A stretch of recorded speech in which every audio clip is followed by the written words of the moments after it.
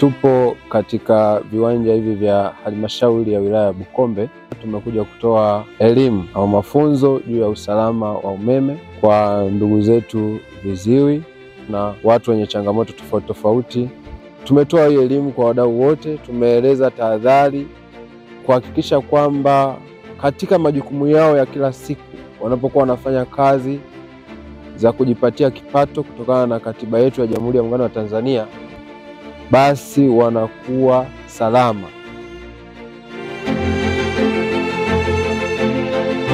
Shukuru sana, Anashukuru sana, Amepata mafunzo amepata ya mafunzo semina ya semina kuhusu mambo ya mambo umeme. ya umeme.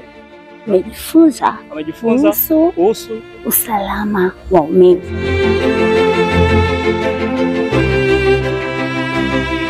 Nipende kuishukuru TANESCO kwa kutuletea mafunzo haya juu ya usalama wetu sisi watu wenye changamoto za ulemavu mbalimbali, na pia mimi nitakuwa mdau juu ya kuelimisha jamii ya watu ambao wananizunguka hususan watu wenye ulemavu kupitia kujikinga na madhara ya umeme.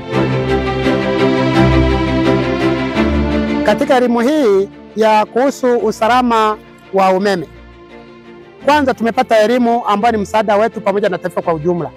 Nimshukuru Rais wa Jamhuri ya Muungano wa Tanzania Mama Samia Suluhu Hassan, tunashukuru kwa kuweza kutupa milioni mia nne na saba kwa ajili ya kuweza kutukwamua sisi wenye makundi maalum.